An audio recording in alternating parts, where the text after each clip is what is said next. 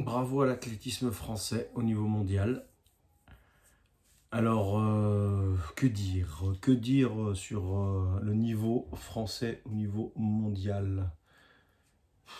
Je pense que, c'est véritablement les conséquences de bah, cette politique depuis de nombreuses années de ne pas vouloir professionnaliser sérieusement la discipline. Voilà. Euh, quand on voit comment les États-Unis écrasent le mondial, Bon, bah, voilà, hein, on sait, euh, eux, ce qu'ils veulent. en fait, on, connaît les moyens que les États-Unis mettent dans la discipline, pas que dans, le, pas que dans ce sport-là, hein, dans d'autres sports aussi. Et on sait ce qu'en ce ce qu'en France, on veut, on veut faire aussi. Hein. En France, le problème qu'il y a, il est, structurel. Ne cherchez pas à comprendre. À partir du moment où les clubs sont majoritairement composés de bénévoles pour l'entraînement, à la limite pour de l'animation, je comprends euh, euh, qu'on puisse des fois passer par des bénévoles, même si Attention, il ne faut pas se louper avec les jeunes. Mais euh, l'entraînement, euh, l'entraînement, faut, faut, cadrer ça avec des entraîneurs, voilà, avec l'expérience, diplômés.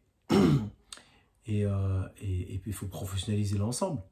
Moi, je ne comprends pas, comment, comme je disais, je comprends pas quand j'interviens en tant que prestataire pour des clubs, comme des, petits clubs vite fait de, des associations et tout, qui sont capables de mettre 30, 40 euros, voire 50 euros de l'heure sur des interventions alors que des clubs d'athlétisme, ils veulent à chaque fois avoir des bénévoles pour entraîner des, euh, groupes d'athlètes. Moi, c'est déjà ça. Après, euh, euh, ou les salariés au pire. Si voilà, si la, prestation, c'est pas, ça demande beaucoup trop d'argent et préfèrent les salariés pour que la personne ait d'autres missions, pourquoi pas? Mais attention, parce que là, le problème qu'il y a dans les clubs français, c'est qu'ils aiment bien des fois salarier des personnes pour faire plein de missions en parallèle à leur activité d'entraîneur. Puis euh, bah, l'éducateur, bah, en fait, il est noyé dans l'émission et puis qualitativement, il apporte pas ce qu'il faut à l'entraînement. Aussi, ça, c'est un autre problème. Parce qu'on veut que, le, salarié soit multitâche et qu'il fasse, euh, tout, en fait. Bientôt, il va, passer un coup de balai, bientôt. Bientôt, il va nettoyer le stade, bientôt, il va... Oh, le, oh vous employez des entraîneurs, vous employez des entraîneurs. Vous employez des, des éducateurs, vous employez des éducateurs. Pas des personnes qui vont à chaque fois euh, se charger euh, et le fonctionnement du club, et l'administratif du club, et entraîner les jeunes, et oh, faut, faut arrêter les conneries. À un moment donné, il faut aussi un peu stratifier un peu euh, euh, les choses. Alors c'est bien, on dit ouais non mais en athlète on salarie maintenant, on, a un peu plus de, entre guillemets professionnel. Mais non, oui professionnel parce qu'il y a parce qu'il y a un bulletin de salaire et qu'il y a des missions que c'est ça professionnaliser. Ça c'est professionnaliser, c'est en fait ils professionnalisent en fait des larbins qui vont tout faire dans un club et puis qu'ils font tout et rien quoi en fait. C'est-à-dire que le club n'avance pas. Et quand tu as des clubs dans lesquels en fait, tu as des entraîneurs qui peuvent un peu monter un peu, en, un peu en grade et qui peuvent apporter un peu des projets, eh ben, il y a certains, certains politiques qui voient ça comme de l'ombre. Et puis derrière, ben, ça dégage. Hein, ils dégagent ça. Pourquoi? Parce que bon, on se dit, ben, euh, en fait, il y a certains bénévoles qui sont des années euh, en fait dans certaines structures. Ils veulent en fait, ils, veulent que limite quand euh, le club disparaît, en fait, on, met une statue en leur effigie, quoi. Il y a combien de dirigeants de club, moi quand j'étais au club de Chambéry, euh, pour pas citer de nom, des entraîneurs qui disaient non, moi c'est ma dernière année, c'est ma dernière année, c'est ma dernière année, des bénévoles. Hein.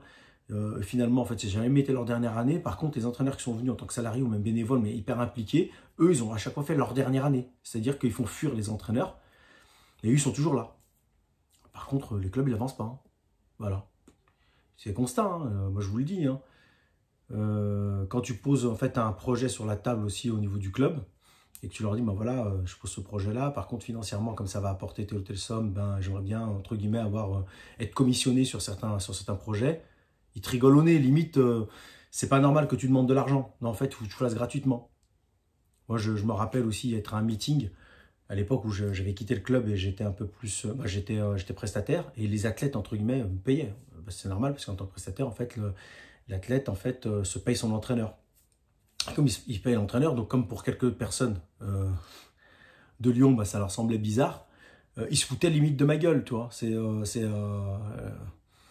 des personnes qui sont ancrées dans l'athlète depuis des années, des profs de PS qui, eux, agrégés, qui sont arrivés en plus à une période dans laquelle tout leur était dû, ils arrivent 15 heures par semaine, les vacances, et mes fesses sur la commode. Euh, donc eux, euh, en fait, euh, bah, ils se foutent de la gueule des personnes qui veulent en vivre, quoi. Parce que eux, comme ils ont toujours donné ça gratuitement, entre guillemets, parce qu'ils avaient que ça à foutre de toute manière, et ben ils ont, ils ont toujours en ils ont toujours mis des bâtons dans les roues aux personnes qui voulaient un peu arriver en fait avec vraiment en disant voilà, on veut mettre des projets en place, Mais bon, en contrepartie, on fait pas ça gratuitement, faut nous payer. Par contre, on va mettre en place vraiment une structure d'entraînement. Non. Par contre, après, ce qui se passe, c'est que tu as des gros clubs, des grosses écuries, euh, Aix-les-Bains, euh, à Grenoble, bref, Annecy, tout le reste, qui, euh, bah, surtout Grenoble ou Aix-les-Bains, qui bénéficient en fait, qui sont considérés comme, qui sont, qui sont en fait pôles donc euh, pour l'espoir. Et donc eux, ils bénéficient d'infrastructures complètement à l'œil, euh, parce qu'en plus c'est même pas eux qui les qui les payent, c'est même pas ces clubs-là, parce qu'en fait c'est des des CTS, des fois des euh, des, conseils, techniques, des conseillers techniques qui sont mis à dispo gratuitement. Donc les clubs sont contents, ils ont deux trois entraînements de plus de qualité dans leur structure. Mais c'est pas pas parce qu'en fait le club a développé quelque chose, hein. c'est parce qu'en fait ils ont eu ça gratuitement. Mais les clubs, ils ont les moyens en fait financiers entre guillemets de pouvoir un peu développer un peu plus ces choses, mais en fait ils placent pas ils placent pas forcément leur politique sur ça. Et puis même s'ils ont pas, entre guillemets, les moyens, ils pourraient les avoir en faisant en sorte qu'une licence ne coûte pas moins de 200 balles. Bon, là, j'exagère un peu, maintenant ils ont augmenté un peu. Mais c'est pareil. Euh, on voit ce que met en fait un athlète pour euh, adhérer dans un club dans lequel il va être suivi, euh, vraiment bien suivi, et on voit ce qu'on lui donne en retour. Ce qui lui est donné en retour, c'est énorme. C'est énorme. Mais le mec, il doit quand même mettre la main à la patte, la main, la main au porte-monnaie. Aux États-Unis, par exemple, pour vous donner un, un ordre d'idée, un assistant d'entraîneur, c'est entre 30 000 et 40 000 dollars par an. Voilà. C'est même pas ce que payer un gars qui sera qualifié en France euh, pour entraîner un groupe. Qualifié en plus compétent. Là, l'assistant, il n'est pas diplômé hein, aux États-Unis. L'entraîneur, entraîneur, je ne parle pas d'assistant, hein, je parle d'un entraîneur. Aux États-Unis, euh, ils sont autour de soit 50, 50 000 dollars, voire des fois, ça peut avoisiner 60 000 dollars. Euh, voilà. Voilà. Et puis quand on, est, euh, on a de l'expérience, on est diplômé euh, euh, et qu'en plus on, est, on a des diplômes qui, qui sont à un certain niveau, ben, on peut même rentrer dans des structures d'entraînement qui sont des structures très professionnelles. Et là, à ce moment-là, ben, c'est le jackpot. Mais bon, ils mettent les moyens. Quand ils ont les résultats qu'ils ont là maintenant, ils ne les ont pas par hasard. Il ne faut pas croire que c'est parce que hum, il y a que ils ont une meilleure méthodologie, ils ont meilleur que non non, non oui ça ils l'ont mais ils ont aussi un meilleur, entre guillemets, une meilleure stratégie financière. Parce que la méthodologie, on peut, on peut l'avoir à partir du moment où euh, on, fait en sorte que quand on monte un projet avec une bonne méthodologie, on prenne, euh, entre guillemets, les personnes euh, qualifiées, compétentes et pour le faire. Voilà. Mais là, non, on veut pas le faire. Nous, on, veut, on se dit, non, il ne faut pas qu'on sorte de l'argent de notre poche. On va essayer de structurer le plus possible avec des bénévoles. Si on ne peut pas, on va mettre de temps en temps un peu euh, la main à la poche pour avoir des, euh, des intervenants sur tel ou tel, tel ou tel secteur. Mais, euh, mais, mais, mais, mais, ça ne se fait pas. Ça se fait pas parce qu'il n'y a pas la volonté politique des clubs, mais aussi la Fédé, euh, elle aime bien cette situation. Pourquoi? Tout simplement parce que quand le club commence à avoir des pépites et puis que derrière ils savent que certains clubs n'ont pas les moyens, on va dire humains, de pouvoir assumer et prolonger et continuer le travail, eh ben c'est bon, toc toc toc, on est là, euh, on a nos conseillers techniques euh, nationaux qui sont à l'INSEP, ils vont s'en occuper, vous nous les envoyez. Les mecs, ça fait 20 ans que c'est les mêmes, c'est les chaises musicales, ils se passent les sièges. Bah, tiens, tiens, euh, ça va Jean-Jean, bah, tu vois, moi j'étais euh, au hors-stade là pendant 5 ans, j'en ai un peu marre. Tu me files les jeunes, je te file le hors-stade. Voilà. Mais c'est les mêmes, hein. après, 5 euh, ans après, ils se refilent les bébés. Et puis les mecs, ils n'ont jamais sorti de pépites. on leur donne à chaque fois, en fait, ils vont, en fait, ils ont, ça leur vient dans les mains, comme ça. Par contre, dans les clubs de, dans les clubs de hand, de foot ou de, basket, bah, les pépites, ils les forment, ils les gardent. Après, bon, il y a le jeu des transferts selon les clubs. Mais au moins, entre guillemets, les clubs sont assez professionnels pour pouvoir garder et former euh, leurs athlètes de haut niveau. Non, en athlète, non. Alors, est-ce qu'il y a une volonté de faire ça exprès pour qu'après les CTS récupèrent, les, les, conseillers techniques nationaux récupèrent en fait les athlètes pour qu'après ils en fassent ce qu'ils veulent, puis en plus derrière, après, euh, euh, les personnes qui veulent pas suivre ce protocole-là, alors les entraîneurs qui sont un peu indépendants, qui veulent vraiment garder leurs leur pépites et les entraîner, donner, se donner du temps, ben, ils sont un peu mal vus. Hein. C'est les pestiférés. C'est les gens, ouais, ils sont pas comme les autres, ils veulent faire n'importe quoi. Ils nous font pas confiance, ils nous font pas ci, ils nous font pas ça. Ouais, mais en attendant, moi j'ai vu des résultats hyper intéressants, euh, pas, pas, pas, ces derniers temps, là, mais il y a quelques années en arrière, avec des, avec des entraîneurs qui ont décidé aussi de se mettre un peu à la marge de tout ça. Parce que bon, euh, voilà, il y a, y a quand même, euh, quand même des questions quand même réelles à se poser. Donc déjà structurelles. Si on ne veut pas professionnaliser la discipline, il ne faut pas vous étonner de faire une médaille. Il faut arrêter. faut arrêter.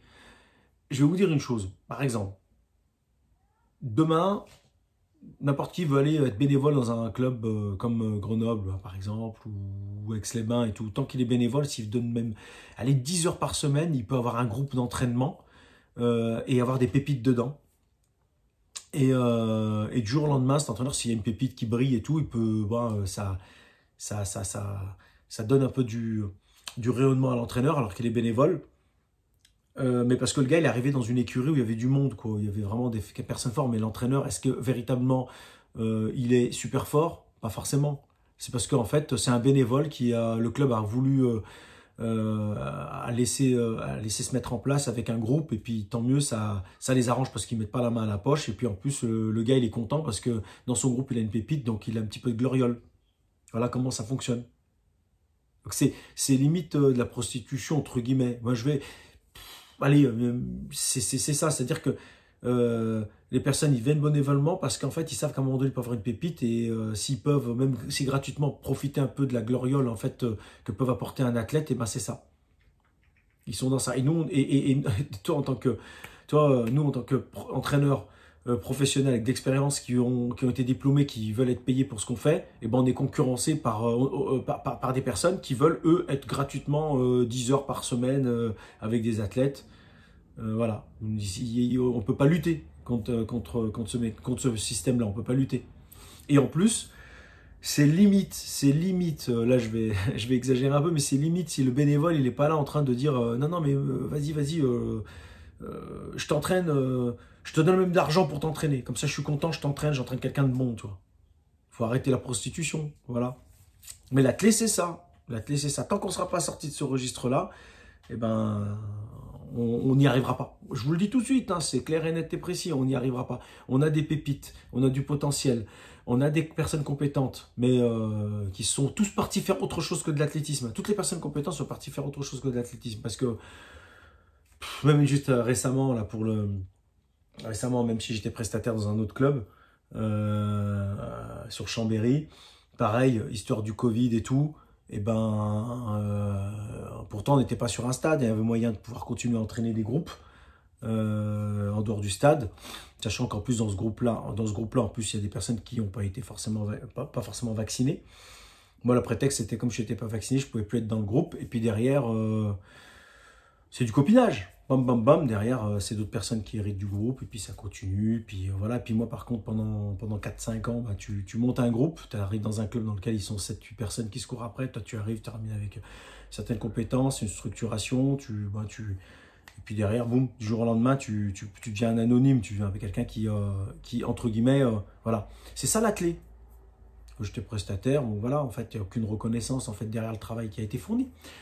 Mais c'est ça, la clé c'est ça. Tant que c'est comme ça, tant qu'en fait il y aura entre guillemets une structuration qui veut pas se faire, euh, qui veut pas être sérieuse dans les clubs, tant que la Fédé elle est dans, elle est, euh, elle est, euh, elle aspire, parce qu'attention, hein, la Fédé, faut pas, la Fédé au niveau, que ce des jeunes jusqu'en plus grands, le, la, part, sa part fédérale, pourtant chez les gamins elle fait rien du tout, hein. elle est énorme, hein. elle est énorme, je crois qu'elle avoisine, si je me trompe pas, 40 euros chez les gamins. À l'époque, avec Chambéry, on avait boycotté. Hein. On avait pris euh, une partie de la des catégories jeunes, on n'avait pas payé de licence FFA, on avait pris une assurance à côté. Parce que nous, ça nous enlevait une manne financière énorme. Et du jour au lendemain, ils avaient planifié ça. Hein. En trois ans, ils avaient voulu arriver à 40 euros par tête de pipe, mais ils sont malades. Ils sont malades. Parce que euh, derrière, qu'est-ce qu'ils font pour les petits? Ils font rien du tout. C'est une pompe à fric derrière, mais derrière, en fait, euh, il n'y a, pas de, ruissellement en fait, vers vraiment un modèle si le ruissellement, c'était de, de, faire du loisir. C'est bien le loisir pour la santé, il n'y a pas de souci. Mais quand tu es, es fédération d'athlétisme qui a vocation à, quand même à former des personnes pour aller en compétition aux Jeux Olympiques, aux Championnats du Monde, eh ben la priorité, c'est quand même déjà de, de, faire en sorte que ça se développe. Après, le reste, euh, on le développe aussi. Mais après, en second lieu, c'est pas la priorité. Mais parce que comme financièrement, c'était plus intéressant de développer le loisir, ben on a tout axé sur... Il y a une bonne partie de, de, comment dire, de, bah, de la la stratégie, c'était de, développer ce secteur-là pour faire du fric, quoi. C'est tout. Parce que ça permettait d'augmenter le nombre de licenciés qui faisaient pas forcément de la compète, mais qui faisaient de la licence, et puis on augmente. Bon, c'est bien, mais par contre, ça a servi à quoi?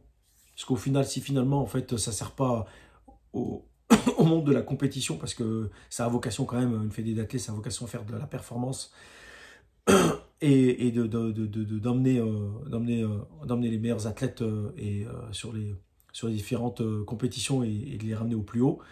Voilà. Alors il y en a qui vont dire, ouais, mais au championnat d'Europe, moi, parle pas, moi, ne parle pas de championnat d'Europe, j'ai rien à foutre du championnat d'Europe. Quand on est en France, on fait championnat, on, est en Europe, les Français, bon, ça va, ils ramènent. C'est comme, en fait, pour moi, c'est comme tu disais, ouais, mais un tel, un tel, il a, il a, il a ramené des médailles au championnat départemental. On n'a rien à foutre du championnat départemental. La référence, c'est au niveau mondial. Au niveau européen, y a un poil un peu au-dessus, on n'a pas de concurrent. On n'a pas de concurrent. Le demi-fond, il a des concurrents en Europe. Le sprint, il a des concurrents en Europe. Oui, il en a quelques-uns. Mais euh, la concurrence réelle, elle n'est pas située en Europe. Et la densité sur certaines disciplines, elle est mondiale. C'est quand on passe au niveau mondial qu'on voit la densité. arrêtez de, des fois de... Ouais, mais euh, en Europe, il a fait ça, il a fait ça comme médaille. Moi, je ne regarde pas les Europes. Les Europes, je ne les regarde pas. Les Europes, ça ne sert à rien. Il faut regarder au niveau mondial. Mondial, JO. Mondial, JO. Regardez au niveau mondial, JO, là, on connaît la valeur de, de, d'un pays dans une discipline. Surtout dans l'athlétisme. Parce qu'à la limite, euh, là, on ne parle pas de, de, foot ou de hand, où les valeurs, où les, où les, où les, comment dire, les forces en présence sont en Europe. Une grosse partie, du moins. Là, on est dans la clé. La clé, c'est au niveau mondial. Il y a d'autres pays qui sont des. Euh, qui sont des. Euh, qui, qui, qui, qui, qui, dominent. Ils ne sont pas en Europe, hein, les pays qui nous dominent. Donc, faut arrêter avec l'Europe. On ne compare pas. Le palmarès Europe, oubliez, mettez-le de côté. Voilà. Tout ça pour vous dire qu'à partir du moment où structurellement on n'a pas développé, on ne fait pas en sorte que les clubs se professionnalisent, que la Fédé aspire tout, que derrière euh, il y a hum, euh, on, profite de la faiblesse de certains clubs pour après aspirer les meilleurs éléments euh, auprès de certains conseillers techniques de gros clubs euh, ou directement au niveau, au niveau de l'INSEP. Et puis derrière, il y, a certains dinosaures de clubs qui veulent, qui veulent, quitter, qui veulent quitter le club. Il faut que le club il coule avec eux, tu vois, parce qu'ils ne veulent pas laisser d'autres personnes. Ils veulent pas laisser d'autres personnes. Quand tu as des clubs euh, ils prennent des salariés, ils sont corvéables à merci dans plein d'autres trucs et finalement euh, ils ont même plus de jus pour, pour vraiment faire ce qui, ce qui est normalement le plus important, c'est entraîner. Quant à certains clubs qui, euh, parce qu'ils prennent pas de salariés, prennent des prestataires, puis ils sont, ils sont, comment dire, ils sont ingrats et puis, puis les, ils balancent comme ça du jour au lendemain comme si c'était rien du tout. Aucun respect du travail de fourni par certains entraîneurs c'est pour ça que je vous dis tout de suite, moi, tant que l'athlète euh, ne s'est pas réformé, moi, l'athlète, je, continue à entraîner euh, des petits groupes de, running loisirs parce que eux, ils te le redonnent. Ils sont contents, ils sont là avec toi, ils viennent, ils s'entraînent, euh, ils font leur petite compète de leur côté et ça va, quoi. Ça, parce que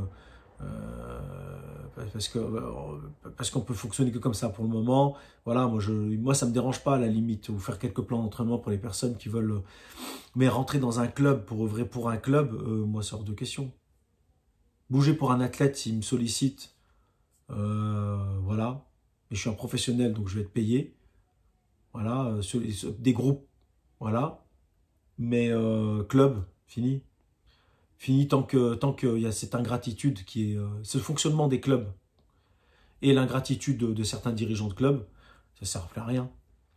Ça sert à rien. C'est c'est la maladie, c'est la maladie de l'athlète en France. Voilà. Voilà, voilà. Mais euh, vous verrez, hein. on va continuer à s'enfoncer comme ça. Plus on va avancer dans le temps, plus on va s'enfoncer. Et il n'y aura, il y aura pas de rebond tant que les entraîneurs, les personnes compétentes, euh, on ne les met pas vraiment là où il faut. Et si on ne développe pas ça, si on ne met pas l'argent sur la table pour pouvoir mettre en place en euh, une stratégie. Voilà. Mais c'est ça, hein. si vous ne mettez pas de fric, ça ne sert à rien. Si vous mettez pas de moyens, ça sert à rien. Si les clubs ne se réforment pas, ça sert à rien. Si la Fédé ne se réforme pas, ça sert à rien. Et vous pouvez brasser autant d'air que vous voulez, mais euh, ça ne marchera pas. Ça ne marchera pas. Donc voilà. Voilà, voilà. C'était le bilan de, de l'athlète français.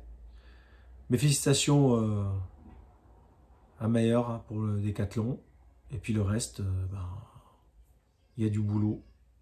Advienne que pourra. Ciao